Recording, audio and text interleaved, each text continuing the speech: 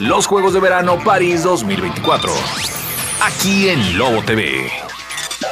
Cápsulas informativas todo el día con deportes, sedes, calendarios y el medallero y el resumen diariamente a las 10 de la mañana. No te pierdas toda la información de París 2024. Aquí en Lobo TV. Hola, muy buenos días y bienvenidos a Resumen de París 2024. Mi nombre es Anice Pulveda. Yo soy Katia Armendáriz y aquí te traemos lo que ha estado pasando con los atletas, con las competencias. Entonces, no te vayas, no le muevas, que aquí te traemos lo más importante. Oye, la verdad es que estamos muy felices y, y despertamos de una manera increíble y maravillosa porque tenemos otra medalla para México, otra medalla para México y creo que ya lo veíamos venir en el, en el hecho de que el pronóstico eran grandes eh, sobre Olvera, que no solamente nos regaló ya la medalla de plata en sincronizado, sino que ahora él dice también pueden individual, como de que no, y nos regala una medalla de bronce para México. Y qué padre, qué increíble de este hombre que pues gana bronce. Y es que imagínate, Katia, que este clavadista, Osmar Olvera, de esta manera se convierte en el primer hombre mexicano en 40 años en ser doble medallista en unos Juegos Olímpicos. O sea, es algo espectacular. Eh, ya sabemos que consiguió su segunda medalla en estos Juegos, con lo que México ya suma cinco preseas en la justa. El mexicano, quien también junto a Juan Celaya se colgó la plata en clavados de 3 metros sincronizado, ahora ha repetido el podio de la misma prueba, pero individual, en la que terminó con la medalla de bronce. También Osmar sumó en total de 500.40 puntos y se quedó solamente a 43 unidades del chino que revalidó el título de campeón olímpico que ganó hace tres años en Tokio y completó el podio el otro chino, también Suen Wing Wang, que repitió la misma medalla de plata que logró hace tres años en Tokio. Entonces, la medalla de Osmar consiguió, que consiguió en esta prueba de tres metros se convierte también en la quinta presea de la delegación mexicana en estos Juegos Olímpicos de París 2024. Lo bueno y lo positivo de todo esto es que ya eh, superaron la cifra de lo que se había conseguido en Tokio 2000, 2020, lo que estuvieron cosechando cuatro medallas. Y sobre todo que todas fueron de bronce. Y en esta ocasión, pues México se estrena en el medallero desde, ya sabes, el tiro con arco que mencionábamos, eh, con judo y ahora con Juan Celaya y Osmar Olvera y por supuesto Osmar Olvera en individual. Estaremos pendientes también en esta asegurada medalla que tiene Marco Verde, que es lo único que tenemos en espera, ¿no? De saber si son cinco medallas, pero saber de qué color es la medalla de Marco.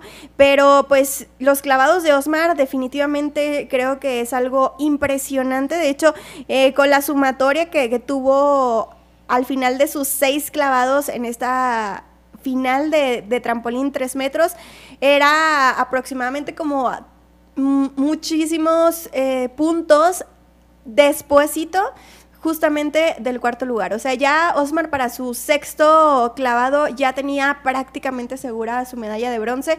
Entonces, ¿esto qué quiere decir? Que, que el mexicano anda con todo. Y nada más con decirte, Katia, que tiene 20 años. 20 años, ¿sabes lo que estábamos viendo ahorita en la mañana? que con 20 participando hoy en los Juegos Olímpicos, estando allá, dando todo de él y con ya con su medallita. Ahora sí se puede regresar en paz y a gusto y descansar porque ya tiene su medallita. Oye, no solamente tiene una medallita, sino que tiene dos medallas en estos Juegos Olímpicos y la verdad no es cosa fácil, como decíamos, ya eh, se convierte en este sexto hombre mexicano, atleta mexicano después de 40 años en conseguirlo y no es fácil y estaremos pues pendientes, ¿no? De también qué sigue para la, delegación mexicana, porque como te digo, todavía clavados están en participación, lo cual nos llena mucho de orgullo porque este es un deporte en el cual eh, México siempre ha sido un exponente grande y de hecho el deporte con más medallas que le ha brindado a México es el, los clavados. Entonces todavía hay, hay eh, personas en competencia. El caso de las chicas también en esa misma prueba de 3 metros eh, trampolín en donde tuvieron una semifinal el día de hoy tempranito en la madrugada y ya tenemos preparado la final. Estoy hablando nada más y nada menos que de Aranza Vázquez y Alejandra Estudillo, que son las que estamos viendo por acá en, en pantalla y que justamente eh, pues fue Alejandra Estudillo quien vive su primera experiencia olímpica en París 2024, la que avanzó a la final en trampolín de 3 metros individual, luego también de clasificarse como quinto lugar en esta semifinal. Esto es algo muy bueno porque sabemos, por ejemplo, Osmar se clasificó en cuarto y al final de cuentas consiguió la medalla de bronce, entonces quiere decir que no está lejos eh, Alejandra Estudillo de estar peleando por una medalla por ahí. También el caso de Aranza Vázquez, que, híjole, fue víctima de un error propio en la cuarta ronda que pues le costó tristemente el pase a la pelea por medallas. Durante este evento, eh, justamente Alejandra presumió toda, todo lo impresionante en el escenario. La mexicana tuvo una destacada participar, participación en las tres sumas, 317.5 eh, puntos en la semifinal y esto pues ya le valió un lugar por la medalla. Em, esa competencia de la clavadista de 19 años fue regular. Eh, creo que abrió su participación con un salto muy interesante que le dio 57 puntos. Su mejor ejecución llegó en la tercera ronda cuando tiró un gran clavado de dos y medio vueltas mortales inversos. Entonces creo que la esperanza de una final olímpica para Aranza Vázquez terminó con un cuarto clavado que cayó de espaldas y esto es triste porque no recibió calificación alguna y es por eso que nosotros cuando veíamos la competencia notábamos que les daban puros ceros eh, los jueces como tal. Entonces en cuanto salió la alberca, eh, la mexicana incluso levantó la mano para dirigirse a los jueces, para darle una oportunidad, para ver, para ver si le daban una oportunidad de volver a tirar el clavado. El público pues pensó que estaba disculpando, pero eh, la competencia pues a pesar de que se detuvo por algunos minutos eh, y lo que alegaba la baja californiana no procedió, tristemente, entonces Aranza Vázquez cerró de esta manera su participación después de una ejecución muy interesante y que se llevó el aplauso del público al salir del agua, pues claramente eh, rompió en llanto, ¿no? Tristemente para, para Aranza que no estuvo en sus posibilidades el estar eh, peleando por una final el día de mañana y el caso de justamente esa mujer, eh, Alejandra Estudillo, que tiene 19 años y que aún así la vamos a estar viendo y disfrutando la final el día de mañana. Estaremos pendientes porque ya sabemos que esta nueva generación de clavadistas traen todo el potencial increíble para poderse llevar y luchar por una medalla en estos Juegos Olímpicos. Sí, imagínate que para una lo importante que debe haber sido que sean sus primeros juegos y que avanzó demasiado. Y bueno, por otro lado, pues también es muy, es muy lamentable que pues no se le haya dado como esta otra oportunidad de volver a hacerlo, pero al menos pues sí lo logró, logró eh, dar lo mejor de ella, que es lo que también importa, entonces pues se puede quedar con un buen sabor de boca.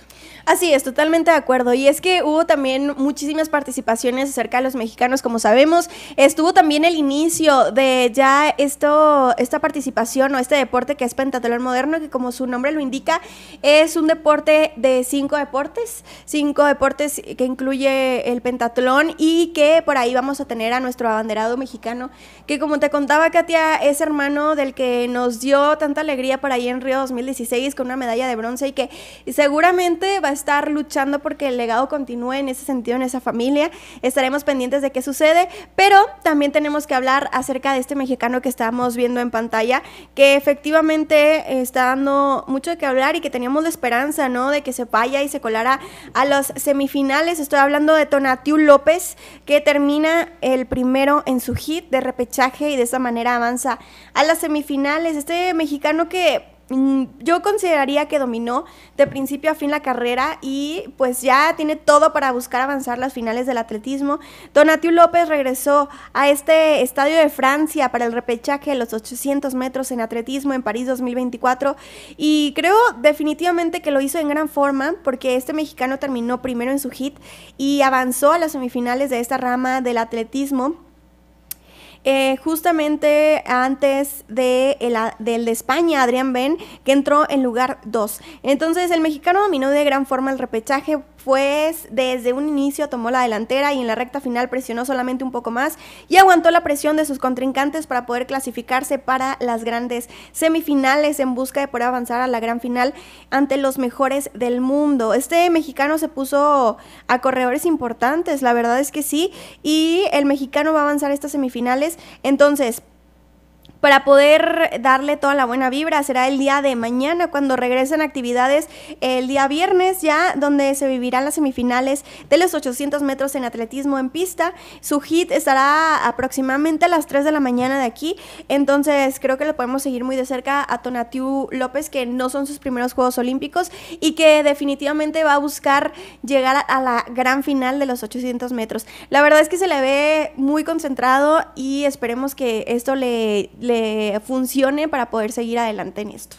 Así es, Ani. Por acá, otra información. Ya sabemos el río Sena, que tiene mucho de qué hablar. Sigue siendo una polémica muy, muy grande. Y es que, bueno, el martes, em, World, World Aquatics, que es el organismo que es el encargado de organizar las competiciones de natación, decidió cancelar la sesión de práctica para, para la maratón acuática en el río Sena, porque alegaban que el agua estaba muy sucia. Los entrenamientos para el triatlón también fueron afectados y pues se pospusieron varias veces. Y a pesar de estos problemas y los recientes incidentes, la organización confirmó que las competiciones de maratón de natación que, que están programadas para hoy y para mañana siguen en pie. Pero los organizadores aseguran que se podrá llevar a cabo sin problemas porque el clima al parecer está favorable. Por otro lado, pues e, en, en, caso de que el río no esté en condiciones para las pruebas faltantes, pues las opciones es mover las competiciones al estadio náutico en Baires-sur-Marne, que está a unos 35 kilómetros de París. Esto porque la calidad de, del agua ha sido muy preocupante y pues la selección de Bélgica decidió no competir en triatlón mixto después de que una de sus atletas tuvo que ser hospitalizada debido a una infección causada por, por una bacteria. Esto lo hablábamos hace unos días, que supuestamente dicen que fue después de, de, haber participado, pero la ministra dice que no, que ella estaba enferma, que ella, se, que ella misma se metió al río y que todo súper bien.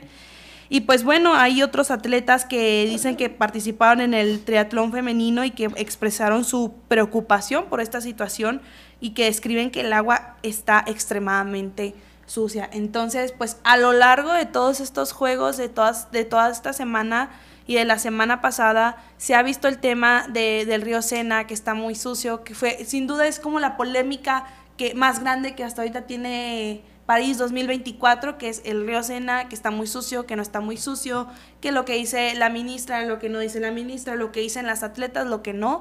Entonces, pues yo creo que todavía hasta la final vamos a seguir viendo temas referentes al río. Y por acá, por este lado también que dicen, no, pues los vamos a cambiar. Y creo que eso es algo que se debió de haber hecho desde un principio, ¿no? O sea, ver la manera de mover, eh, de mover, de cambiar la ubicación para que los atletas pudieran competir en un lugar un poquito más sano, más sano y que con pues con menos bacterias ahora sí. Sí, totalmente. Y de hecho, el día de hoy temprano sí tuvimos la prueba de aguas abiertas, justamente las, eh, la femenil. Y pues estuvo por ahí participando una mexicana que quedó en el lugar número 13 y que a ella le preguntaron claramente, ¿no? En los medios de comunicación y demás, justamente por esta viralidad y esta crítica acerca de, del río Sena, de qué te pareció, de tú qué sentiste. Ella dijo y mencionó que para ella no se sintió para nada sucia, que todo estuvo bien en ese sentido. Y incluso mencionaba, ¿no? Que han, han estado, tenido que participar en lugares mucho peores, en Copas del Mundo, en mundiales, en donde verdaderamente está sucia el agua, en donde ahí tuvieron que participar. Pero como no están los reflectores en este tipo de Copas del Mundo y en estos Juegos Olímpicos, sí, es ahí donde hay la diferencia, eh, en donde tienen que poner atención, ¿no? En todas las competencias y no solamente en estos que son los Juegos Olímpicos, que sí, obviamente se entiende que porque es la justa más importante, eh, la justa veraniega más importante, pero que pues deberían de tomar en consideración todo el tiempo y en todas las competencias. Así es, Ani, y así la información hasta ahorita del Río Sena. Vamos a un corte y regresamos con más. Estás viendo Lobo TV. Regresamos.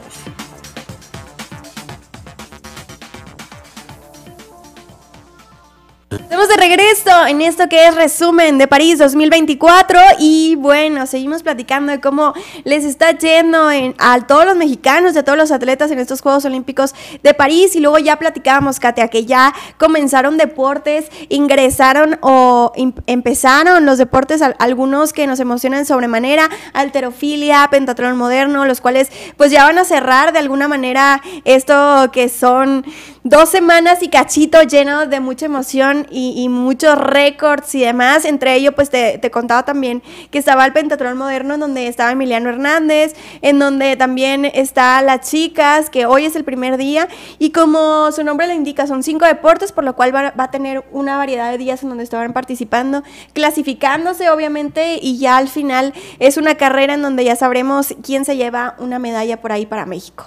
Así es, Ani, y es que ya estamos, pues ahora sí que a, días de muchas finales, de muchos deportes que ya, pues que ya van a concluir, muchas competencias que ya van a terminar. Entonces, estamos ahora sí en lo más emocionante de París 2024. Todo, todo es emocionante. Y es que luego hay, muchos que piensan que se termina todos los, eh, o sea, un deporte en específico, y no, la realidad es que en todos los Juegos Olímpicos hay diferentes tipos de deportes, entonces es por eso que siempre es emocionante cada uno de los días tiene su, su alguito que nos emociona de sobremanera. El caso, por ejemplo, también que tenemos que hablar que nos llena mucho de emociones, de buenos y de malos, de preocupaciones y de todo un poco. Y es el caso, por ejemplo, de un atleta etíope llamado La Mecha Girma, que, uy, creo que a todos o a más de uno nos tocó y nos dio un sustazo, porque este que tuviera el récord en esta prueba que justamente él estaba, estaba participando, fue hospitalizado porque tuvo una caída tremenda, una caída tremenda. Y pues yo creo que eh, nos damos cuenta como todos los deportistas entregan el todo por el todo en cada una de las disciplinas. Y hoy en París esta no fue la excepción porque pudimos ser testigos, yo creo, Katia, que fue uno de los momentos más eh, escalofriantes, podríamos llamarlo de alguna manera, lo que sufrió la Mecha Girma porque tuvo una caída que lo dejó inconsciente, inconsciente, y tuvo que ser llevado en camilla a la ambulancia y posteriormente fue hospitalizado. Eh, parte del reporte médico dice que tuvo una, una dura caída y aún no ha recuperado completamente la conciencia. Actualmente ha sido llevado al hospital para recibir tratamiento, aunque no tiene amenaza de vida, necesitará algo de tiempo para recuperarse, como mencionó su entrenador, Evisa Neges Gelatu, entrenador pues ya de este etíope que tiene 23 años nada más y que tiene también el récord mundial que ya les estaba mencionando, eh, pues aparece este hombre en el sitio de World Athletics como parte del directorio de los representantes de atletas y fue él quien le dio a conocer al mundo el estado de salud de Girma, ¿no? El mundo entero, yo creo que todos estamos en vilo, ¿no? Para saber qué, qué estaba pasando por la salud de este etíope, eh, quien estaba cerca de culminar la final de los 3.000 metros con obstáculos y pues es como tuvo una caída bastante fuerte, ya está pasando el video en redes sociales, la verdad es que sí es algo muy duro de ver eh, para que tomen en consideración eso cuando te lo topes por ahí. Y esta final de 3.000 metros transcurría con normalidad. Luego la Mache estaba en el grupo puntero con los tres medallistas. Faltaba poco menos de 400 metros ya para culminar la prueba, pero uno de los obstáculos no lo pudo saltar como debía para superarlo y cayó de forma estrepitosa, Katia. Imagínate que no pudo ni meter las manos. Entonces, definitivamente la imagen dio vuelta en el mundo. Eh, los servicios médicos acudieron lo más pronto posible para auxiliar al etíope, obviamente. Le colocaron este cuello ortopédico que, que conocemos para inmovilizar la zona del golpe y se retiró en camilla hacia los vestuarios. Instantes después informaron que sufrió una conmoción cerebral, para, pero pues la imagen dejó sin aliento al mundo del atletismo. La verdad es que fue algo impresionante de ver y creo que todos estábamos con nuestro corazón a tope diciendo, es que eso es parte de, de cosas que no podemos controlar muchas veces y qué triste que le sucedió a este etíope y estaremos pendientes sobre todo por su salud, ¿no? Y sobre todo creo que es algo muy triste porque era uno de los punteros, como te digo, tenía el récord mundial, entonces se esperaba grandes cosas de él, acaba de, de conseguir este récord hace unos meses donde estuvieron participando el mundial justamente donde van muchas delegaciones de atletismo. Entonces, pues triste, se esperaba una medalla eh, olímpica para él, ya no va a suceder y ahora lo que esperamos es que esté bien de salud. Así como dices, Ani, pues es que son gajes del oficio y a veces no, pues, las cosas eh, no son hechas eh, con, a propósito. nunca se sabe qué es lo que puede pasar, todo pasa por algo, también eso hay que tenerlo muy claro, pero lo bueno es que no fue algo mucho más grave o aún más grave de lo que ya es. Entonces, pues por el momento estar pendientes de su salud, de cómo le va a ir, qué le van a decir los médicos. Y pues nada, pues ahora sí que a echarle ganas, ya no te queda de otra más que pues, levantar la cara y decir, gajes del oficio, le sigo dando. Vamos a platicar un poquito de qué está sucediendo con LeBron James, oye, y sobre todo con todo el equipo de básquetbol masculino. ¿Por qué? Pues porque justamente el Team USA o el Dream Team, como es mejor conocido, y su escuadra de todos los jugadores de la NBA es totalmente favorita en este competencia de básquetbol masculino en los Juegos Olímpicos de París 2024, donde arrancaron desde temprano, desde, de hecho es uno de los deportes que arrancaron eh, aproximadamente desde la primera vez o desde, desde antes de la inauguración y que ahora se va a estar llevando a cabo la semifinal. Estados Unidos, que es cuatro veces campeón defensor de la medalla de oro olímpica, eh, definitivamente es favorito otra vez, pero el campo podría ser el más fuerte de la historia porque este Team USA o este Dream Team está liderado por LeBron James, Stephen Curry y Kevin Durant, entre varios astros importantísimos y ya sabemos que finalizó primero en la fase de grupos, que era el grupo C, seguido de Serbia, con también el tres veces MVP de la NBA, Nikola Jokic. Eh, Sudán del Sur y Puerto Rico fueron eliminados y tanto el Team USA como Serbia ganaron sus partidos de cuartos de final para asegurar volverse a ver en la semifinal. Entonces va a estar muy interesante, va a ser, o sabemos que el Team USA ganó el enfrentamiento en la fase de grupos por marcador de 110 a 84, entonces no se espera menos para este gran partido y por su parte estará también eh, la final de Francia y Alemania que en estos momentos está llevando a cabo este gran partido disputando el boleto a la gran final luego de que ambos superaron los compromisos de cuartos de final contra Canadá y Grecia respectivamente. Sabemos que por ahí eh, tenemos a grandes en Grecia, por ejemplo, liderado por el dos veces MVP de la NBA, Giannis Antetokounmpo, que no pudo lograr que su equipo siguiera la siguiente ronda y eh, pues, pues, estaremos pendientes, ¿no? Para todo lo relacionado con ese torneo, porque en los Juegos Olímpicos se vienen grandes cosas. Ya están las semifinales el día de hoy, estará, está enfrentándose Francia y Alemania, y más tarde va a estar enfrentándose Estados Unidos contra Serbia. ¿Quién ganará? Probablemente Estados Unidos es el más favorito, y sobre todo porque tiene más eh, pues jugadores de la, de la NBA, a pesar de que pues sí tienen algunos MVP muy interesantes por ahí estaremos pendientes, Katia. Sí, hemos hablado de que Estados Unidos, pues, la o sea, trae con todo para, para estas competencias y trae bastantes. Ayer veíamos cómo quedaba entre China y Estados Unidos en el medallero, entonces, pues, yo sí le tengo bastante fe. No dudo que, o sea, si ganan, no sería una sorpresa, o sea, no sería una sorpresa, pero sí sería un wow, sí, lo, lo, volvieron a hacer, lo volvieron a hacer. Y hablando del medallero, justamente, ¿qué te parece si vamos con Abraham y que nos platique un poco de cómo está el medallero hasta el momento?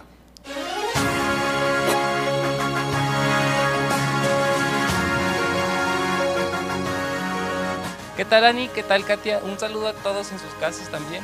Vayamos a revisar el medallero del día de hoy.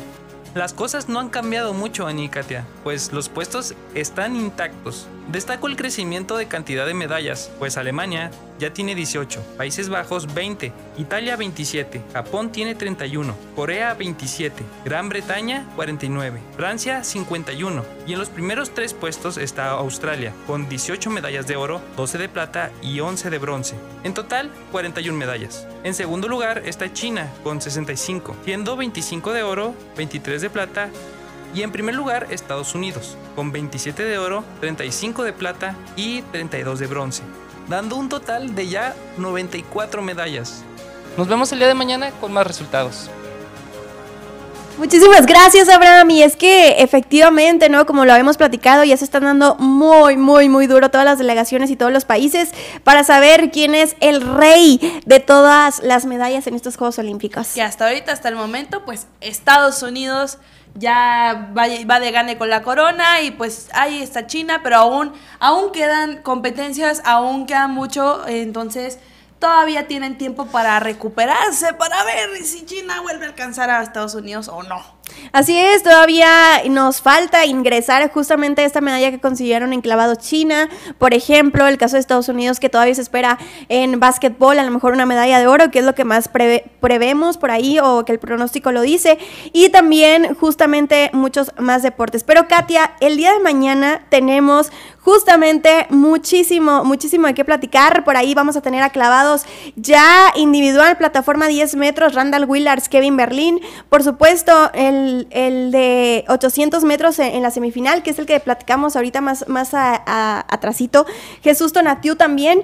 Y pues claramente uno de los más grandes eh, peleas esperadas siempre es el caso de Marco Verde, que va a estar peleando el día de mañana a la 1.30 aproximadamente de la tarde, en donde ya sabremos por fin si es medalla de plata o medalla de oro, lo que nos va a regalar el mexicano para esta delegación y sobre todo después de, ah, ¿cuánto? Ocho años, ocho años que no se había conseguido una medalla en boxeo en estos Juegos Olímpicos. Recordamos eh, que en Río 2016 un chihuahuense, justamente Misael, fue el que le dio una medalla de bronce a México y ahora no sabemos de qué medalla, de qué color va a ser lo que Marco Verde va a hacer. Bueno, el día de mañana bien pendiente, también tendremos final enclavados con justamente Alejandra Estudillo, que ya estábamos diciendo en trampolín de tres metros que todas las cosas pueden pasar. Así que ya saben, no se lo vaya a perder por nada del mundo para que mañana esté a la par con nosotros en toda la información, porque el tiempo ya se nos ha acabado. Tenemos mucho de qué platicar, pero bueno, hasta el momento es lo que les tenemos y les agradecemos que estén